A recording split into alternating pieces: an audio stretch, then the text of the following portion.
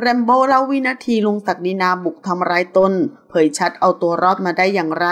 เฟซบุ๊กของดรเสกสกลอัฐาวงศ์ได้ออกมาโพสต์ข้อความระบุว่า 18 ตุลาคม นายเสกสกลอัฐาวงศ์อดีตผู้ช่วยรัฐมนตรีประจำสำนักนายกรัฐมนตรี กล่าวถึงกรณีนายศรีสุวรรณจันยา เลขาธิการสมาคมองค์การพิทักษ์รัฐธรรมนูญไทย ถูกนายวีรวิทย์รุ่งเรืองศิริผล อดีตผู้ชุมนุมคนเสื้อแดง ชกต่อยขณะยื่นหนังสือร้องเรียนเอาผิด นตอุดมแต้พาณิชย์ที่จัดการแสดงเดี่ยว 13 และกำลังให้สัมภาษณ์สื่อ โดยนายเสกสกลระบุว่าตนเองไม่เห็นด้วยกับพฤติกรรมดังกล่าว เนื่องจากขณะที่สื่อมวลชนให้สัมภาษณ์ และมีการถ่ายไลฟ์สดผ่านสื่อออนไลน์นั้นทำให้ประชาชนทั้งประเทศ ได้เห็นพฤติกรรมความรุนแรงที่เกิดขึ้น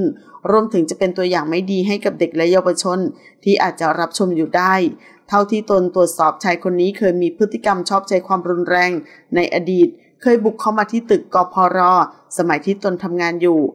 หวังเข้ามาทำร้ายตน แต่ตนรู้ทันเลยป้องกันตัวรอดมาได้ ทีมรปภจะเข้าจัดการกับชายคนนี้ แต่ตนห้ามไว้ทัน ไม่อยากให้เป็นข่าวมีเรื่องราวภาพพจน์ ไม่เหมาะต่อสายตาสื่อมวลชน พฤติกรรมชอบโชว์ความรุนแรงก้าวร้าวต่อหน้าสื่อ และเอาไปพูดไลฟ์สดในช่องของตนเอง ข่มขู่ฝ่ายที่นายคนนี้ไม่ชอบเป็นการส่วนตัว เพื่อเรียกร้องความสนใจ